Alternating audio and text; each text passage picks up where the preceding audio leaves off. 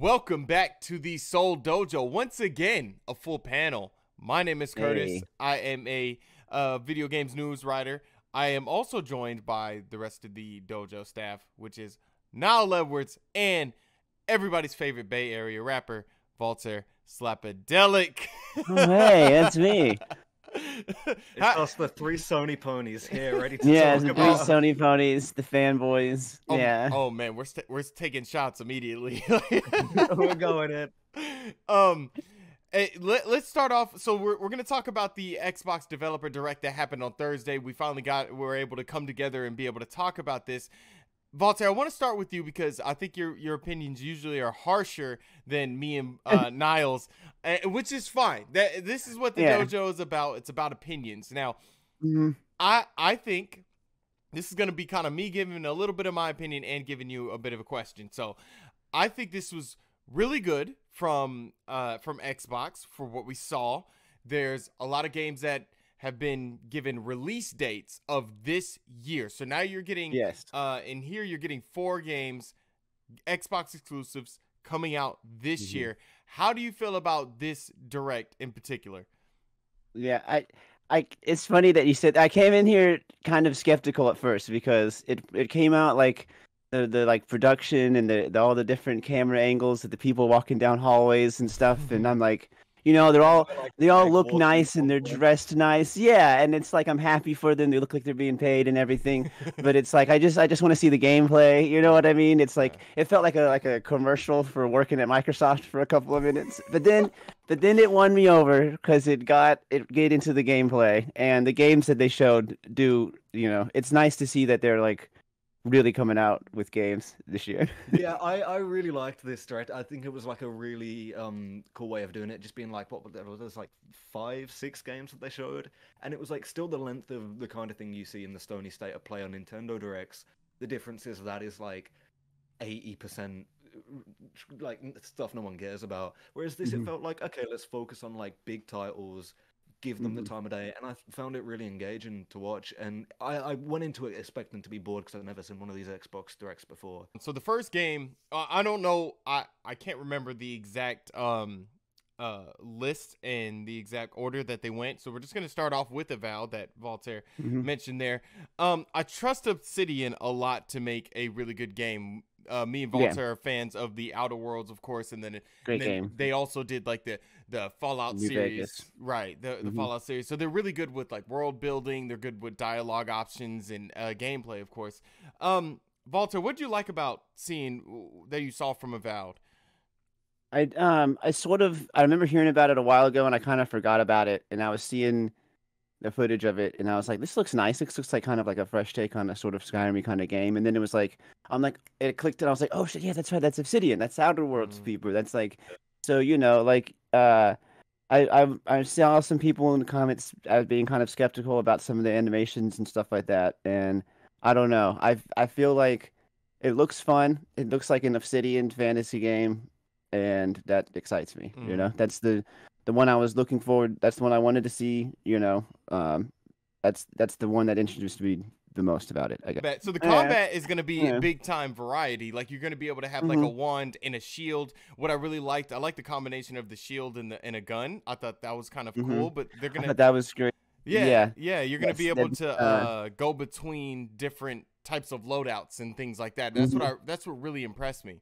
Um, Yeah, they said the dual wielding the um the magic wands, Yeah. and I thought that was kind of cool. You know what I mean? like on like And, an uh, FPS kind of one yeah. wielding. And the idea guy. of like wizards dueling, and then Yeah. one of them's just like, ah, screw this, just bam. you know what I mean? That's hilarious to me. I love that. uh, Niall, what what do you think about Avowed so far? Yeah, I'm like you said. I'm a big. I'm also a big fan of the Outer Worlds, and I've played Fallout New Vegas. Really liked that. I feel like I'm getting a bit drained on that format of game, especially with you know Yeah. that very. It's very Bethesda style, and because that's their origins, and I I, I feel drained on that a little bit. But this looked engaging enough and also open enough, especially Mhm. with what they were showing off with the side quests and how you can really approach it your own way. It gave me kind of Breath of the Wild vibes, but like the next level of that almost Mhm. where it's fully your own judgment. It seems like with a lot of these character-based decisions you can make. That I think that looks like the most engaging and interesting part to me. Which I found about the Outer Worlds is the story and the dialogue options and stuff like that was way more interesting than any of the Mhm. combat. And I feel like with Obsidian in general, that kind of tends to be the direction that their game's going for me. But that being said, all the kind of fantasy battle stuff looked pretty cool in this. And I'm not a fantasy Mhm. guy. I don't really like fantasy stuff in general. But this could be like the kind of fantasy thing that gets me in, and I'm I'm definitely gonna play this, which Mm. is a big thing for me to say about a fantasy thing. I do. I should say that I'm. Um, I did kind of agree with some of the criticism people were saying. Uh, I'm not 100% sold on Avowed, but I'm willing to Yeah. see more of it, and I want to see more of it because I'm still a little confused. and I do think that on. you know it is still a few months out. You know what I mean? And so you know we're probably seeing something that still has a few months of work to do on it and everything. I I do remember thinking that in the trailer, but uh, I was more taken by, you know, they're really making a swing at it, and it looks like they're gonna put you know all of their Obsidian magic into it, plus more of a focus, like you said, on combat than they've done. It was uh, Visions of Mana, which is part of the Final Right. Fantasy Adventure series. This game isn't an exclusive, but I think Xbox brought this game in to be like, hey, like we're still really good fans and, and really good friends with the people at Square Enix and that type of game, which is that Japanese RPG. Uh, they brought it in. It actually looks really fun. It reminds me a lot of uh, what's the game that's on Switch? It kind of reminds me a little Okay. bit of Xenoblade. yeah. uh, it Yeah. reminds me of that, and uh, this this looks a little interesting. I think I'm gonna go ahead and play it. I don't know what you guys have to say about it, Voltaire. Uh, it definitely has. excuse me, I'm going through puberty there. It definitely has um like Ni no Kuni sort of vibes, like Dragon Quest and stuff. Uh, definitely looks interesting. Definitely one of those games that I'll, you know, looks like something I would at least kind of jump around in and try out with. You know what I mean? Um, I really, I swear for like the the half of that trailer, I thought Xbox had bought Square Enix. I was like, oh man. no! It sounds like a little oh bit that assumption, to be honest. no. yeah. that that would have been that would have been crazy. That would have been crazy. Like, uh, Yeah. yeah, like I mean, I like the combat. Um, it is coming out sep- se- uh, it's September. No, it comes out in the summer of 2024. I won't be playing much, so I think this is a good summer game. Um, I don't know if you're into these kind of games, Niall. I was gonna ask, have y'all played these the vision of the Mana uh, games in the past? I played, I think it was Trials of Mana. Uh, and by played it, I mean gave it about thirty minutes and went, oh, okay, because it's not, it's not my sort of my my as uh, my fellow Brits say cup of tea, but um, it's I, I can respect it. And I saw this trailer and I was like, okay, that looks like a good game, Mm. one that I probably won't play, but I'm glad that this thing that looks quality is out there for the people who want this kind of thing. Yeah. I'm I'm a real cool guy like that. Yeah, I played uh Yeah. games like Dragon Quest Real Builders. man of the people. Uh, I played Dragon Quest Builders. I like the Dragon Quest Builders. I played the regular Dragon Quest, and I've also played Mhm. Xenoblade. So Mhm. I, this is Yeah. definitely a game I can get down with, and I, I can't wait to try it when it comes out um, this summer. Um, the next game was uh, that we'll talk about is the Ara History Untold. I don't know if you guys have played games like Age of Empires, Right. um, yes. Civilization, things like this, but this looks very interesting to see like Mhm. you, what the developers were talking about was like you'll be able to see your decisions like in real time and it'll really affect your gameplay Volta, i don't know if you've dabbled in this type of uh, strategy games before Uh, when I was a kid, I was real into um, yeah, Command and Conquer and Age of Empires and stuff. I'm just not. I'm just not as good at them as an adult. I don't know what it is, to be frank. Maybe I don't have the patience or something. Um, uh, my wife is very much into those types of games and is interested in this one. Um, uh, uh, but um, yeah, I don't. I don't. It's. It looks very interesting. It looks like they're trying to be do something a little new with it. I just don't know enough about that kind of type of game these days to really say if it's something that I would like be excited to play or not. i don't know if you've played any of these types of games niall Um, I've always avoided them because I know if I touch them at all, it'll ruin my life because I'll become completely So uh, like obsessed with it and it'll become everything. So it's it's the same with like. I, I can't even think of another example of it, but if I if I t- I had the same with Skyrim of like I can't play this game because I'll I'll live in it and it'll kill me. But then I was watching this show and I was like, I really want to play it. I really want to play this. this looks so interesting and just a, a slightly fresh enough take on a long, long, long running style of Mm. game. Yeah. I think genuinely just seeing how passionate the people that were making it were about it made me go like, oh yeah, Mm-hmm. awesome. I want to, I want to be in that. Like, I want to be involved. And so I will play this game, and it will kill me. So Yeah. I guess look forward to that. uh, and this game, I think what's really cool about it, another Xbox exclusive. It'll be on PC, of course, and, and, and Xbox, and it'll definitely come to Game Pass. I think this is something that's really this type of game is cool because there's nothing that PlayStation has in its lineup that's like this, which Hmm. is which is really I, Yeah. I think it's a good idea that Xbox is going forward with something like this. The next game, Hellblade Two. This was the big one that I really wanted to see. I really wanted to see Hellblade 2, or it's uh, officially called Senua Saga Hellblade 2. Yeah.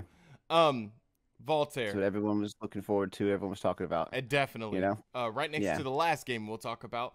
What do you Mhm. What do you think so about excited from from about what this. you've seen of Hellblade 2? What What have you seen? It looks great. You know, I need to go play the first one. It's just one of those games I never really got around to like playing. I put like I played for like an hour on my like laptop, like back when the very first got Mhm. Game Pass, but I never really gave it like a fair shake. You know, um, just didn't work out that way. You know, um, but uh, it looks really good. The, the acting, the animation, super impressive. Um, the the little bit that I do remember of the first one, it'll be fascinating to see how they change up. They said they're doing something brand new with the combat Mm-hmm. um, I just, you know, it's a very, um, the, those games are like technical marvels. So I'm just fascinated anytime there's like an update about it. You know, uh, I, I have the first Hellblade installed on my Xbox. I plan on trying to finish it by the time the new one comes out. So we'll see. At least you'll you, definitely it is. Look, I've I've raved about this game since the first one came out. I absolutely love the first game, Hellblade: Senua's Sacrifice. It was an amazing game. It really tested me as a gamer. It opened me to the fact that games aren't just something you sit down and play. It is a whole experience, and that 1st Mhm. game is phenomenal. This one, uh, when they were talking about it, when Ninja Theory were going through what uh new technology they got, it just screamed of Xbox money. It, it- they got like a new Yeah. mo cache, Yeah. like mo, what was it, mo capture tech. They got a new audio Mhm. tech going on, and that's really what immerses you into the game. So Xbox just threw the money at it.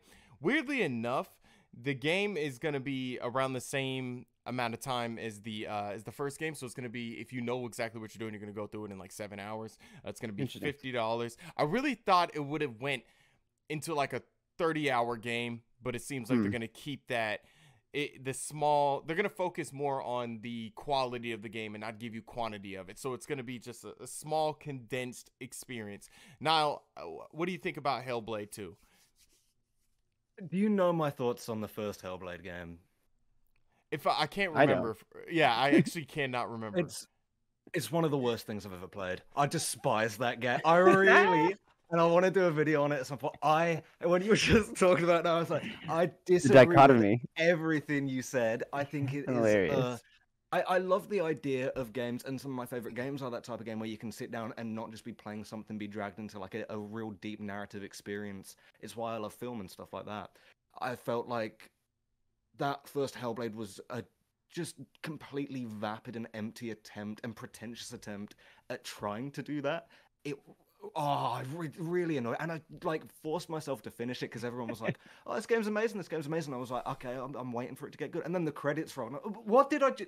It's I, I don't know, and I feel insane That because so everyone loves it, and I don't know what people. But uh, this looks pretty nice, like graphically, it looks pretty cool. I Mhm. was really interested in what they were talking about with the spatial audio, uh, which is very Mhm. similar to Dolby Atmos, and that's something that I absolutely love. I'm a big sound guy, and just getting a look at how they're really focusing on spatial audio, which is quite a new technology, in order to really bring you into an immersive experience, I think is super fascinating, and I love that there's a studio really paying attention to that. I wish they were doing it in any other game. and this is what the Seoul Dojo is about. That's Two hilarious. different opinions. Like, uh, last game we're gonna talk about and is uh Indiana Jones in the Great Circle. Mhm. Uh, this game is by the people that did the Wolfenstein games.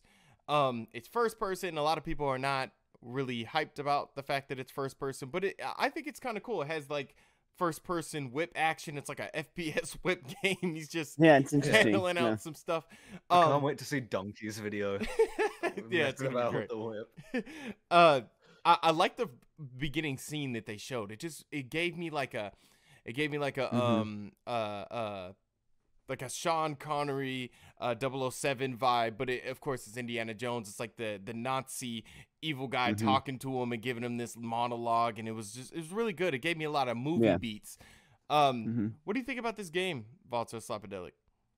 Um, so I'm not. I've never been a big fan of the movies. You know, like I just I don't really have a strong opinion of them. Yeah, on, on either way. I think that they're you know, they're alright. I guess Mhm. you know what I mean.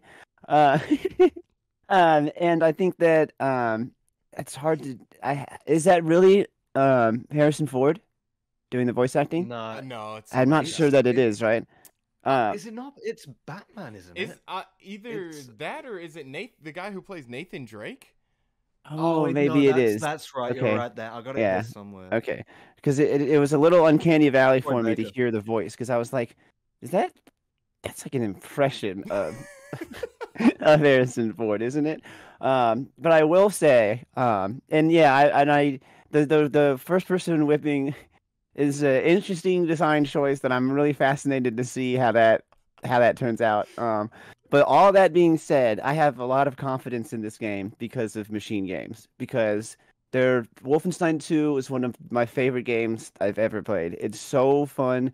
There it's it's all about you know beating the crap out of Nazis, which is something that Indiana Jones is is known for doing. And so I think it's really right in their in their wheelhouse, you know. It's a game about beating up Nazis and going on, you know, wild adventures. I, I'm a huge Indiana Jones head. Uh, this looks great in like. Anytime we see gameplay or an environment, I thought the character models looked oh hideous. I thought they looked like Sometimes, of the yeah. PS3 level. Like there was some real uncanny valley stuff in there. But as a whole, I'm really excited to play this. I do wish it was Mhm. third person because I tend to I tend to choose third person stuff in general. In general, but um, I got real distracted because I hit my keyboard, and so that's why my sentence around so quickly. But um, yeah, I- I'm excited to play it. Wish it wasn't um first person, but it seems like they're taking a cool approach with it. It Mhm. seems like they really want it to be like a you're not playing as Indiana Jones, you are Indiana Jones, like they Mm. said. Yeah. Mhm. So if that's if that's the trade off to make a, an immersive Indiana Jones experience that's hopefully better than the last like two or three movies at this point, Mhm. Yeah. then yeah, I'm I'm game for that. Yeah. It- But I, I do see what you're saying about the some of the facial animations though. That opening cutscene was nice, but there was some few shots where I'm like, Yeah. uh, it does have a release window of sometime this year. Um, yeah. I think when it comes to this particular game, I am kind of surprised it isn't third person. So I agree with you, Niall. Um, I think it's I think it's really weird because you do want to see I was surprised about that uh, too. Indiana Jones in that in the environments, uh, Mm-hmm. interacting with things. You do want to see that. So I can understand a lot of people that's getting frustrated with just the over incompetence of the um or uh, over usage of the first person because we have multiple first person uh, games from Xbox. How do you guys feel about Xbox? This developer direct and just overall, do you feel like these exclusives? Because now we're starting to see the exclusives now. You know, they Mhm. they said we bought this, we bought these developers, we bought these developers, we bought this company. Now it's been a few years after that, and now they're starting to finally bring out the product. Mhm. Um, do you think Xbox is finally making that shift that maybe they're starting to go tit for tat with PlayStation on exclusives? Um, so how do we overall like just feel about Xbox, Voltaire? Um, yeah, I mean, you know, despite what some people might say in the comments of various videos, I actually am a, a fan of Xbox, you know. Um, and you know, I I like Game Pass a lot. You know, we always say it's hard to talk about it without sounding like we're sponsored or whatever, Yeah, you know. exactly. Uh, you know, and but it's just like you said, there hasn't been a lot of exclusives, so it's there's like times when Xbox sounds like, yeah, we're gonna go all in and we're gonna get all these exclusives. We're really gonna do it. You know, we don't we're not even worried about Sony anymore. We're just doing all of these exclusives and everything. and then there's other times where they kind of act like, oh, we'll never be on the level of Sony with their exclusives, and we don't even really try anymore. You know, we're like he said something like that the other day. Like Mhm. we're, we're Xbox is never going to be competitive. It's like You're the only other choice. What are you talking about? and, and that is 100% true because sometimes and that's my big critique on Phil Spencer is sometimes he founds he sounds very defeatist sometimes. Uh, yeah. And I'm like, think dude, he's real depressed. I Yeah. get a, I get a vibe from him that he's he's not doing well. I feel bad for the guy. Every now and then he'll come up with like a, a statement and he's like, "Yeah, we're not very good, are we?" Yeah. oh, man, are you, what, what's wrong? Yeah. He's like, I hate Xbox. I just don't like Xbox. Yeah. Uh, uh, Niall, what's your opinion on it? Uh, before I say my opinion, I want to get ahead of the comments and say that I don't think either of you two know this, but I am actually sponsored by Sony. They reached out to me a, a couple weeks ago, and um, I am I am paid off by them. So keep that in mind with everything that I say. nice. But nice. um, uh, no, I, I I think you've nailed it. That like uh, Xbox and uh, Microsoft, they're they're doing something different. I think they they fell so far behind in the battle between the Xbox One and the PS4 that they knew they weren't going to keep that consumer base, which was extra Mhm. important in in the shift from most gamers being physical media people to digital media people and having those purchases carry over that was a huge generation for them to have lost and i think they've really come to an understanding now of what that's done to them as a company and you see them place so Mhm. much more emphasis on stuff like game pass and game streaming which isn't about owning games and having ownership over a digital library it's about instead creating not just like xbox isn't a console anymore it's an ecosystem and yeah. i think they care less now about shifting units and more about trying to make this ecosystem as appealing as it can to everyone and not try and dissuade people from buying a PlayStation, but try and persuade them into having a PlayStation, yeah, if they do, but also going, yeah, but there's Xbox as well that you can use as a side thing. Yes. with stuff like Game Pass, you don't need a console. You don't even need a PC that can run the games. You can do game streaming. Uh, Mhm. So I think th- they're, I reckon within the next five, six years, we're going to see them make a real push and try to, and I don't know if it will happen, but I think they're going to try and get stuff like xCloud on the Nintendo Switch 2 and the PS5 or whatever. I, I would not be surprised people- about that at all. Mhm. yeah, be, be, become a hub rather than like a, a Mhm. console. Yeah, and I kind of think because you know, there's like these two minds now of it's like, oh, we need to redo the console wars, you know, or like not even maybe not even that extreme, but like there's like Xbox needs to be competitive again, but then there's this sort of other reality forming of the consoles kind of all fit their own niche, you know. The PlayStation is the, the big is- powerhouse that everyone has. Yeah. Xbox is for streaming, like you said, it's a more of a platform. And Nintendo, you know, they make the Switch. they you make know, they make Switch the, the Game Boys. They make the Yeah. Switch They're becoming incredibly, incredibly like um competitive in a space they're creating.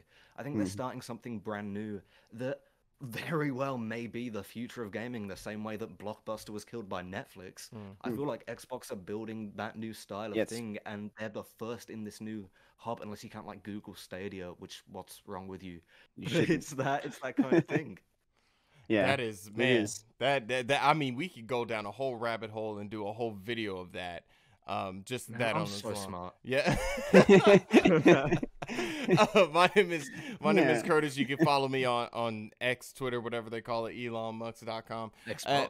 Elon Musk. Xbox. Um, Yeah. at, at Kali from the Dojo, Voltaire. You can plug yourself in. Yep. Uh, Slapadelic Music here on YouTube. Um, yeah, about to, weather permitting, film a music video this week, and um, just Voltaire Slapadelic on Instagram. I don't know. Look me up on Spotify. That's about it. Now go ahead. Uh, you can find me at the local HMV slash Blockbuster video looking for my new movie for the night. And that's all I got. Nice. Nice. All right. Make sure you guys subscribe to this old Dojo Gaming channel. We're well on our way to a thousand subscribers. Make sure you guys like the video and get in the comments. We always just joke, but we love seeing your guys' comments. We Mhm. love that you guys get Yeah. involved in the conversation. Make sure you guys Mhm. do that, and we'll be down there commenting with you guys. So Yeah. we'll check you guys later, all right? Tell us what kind of shows we are. Peace. Peace out.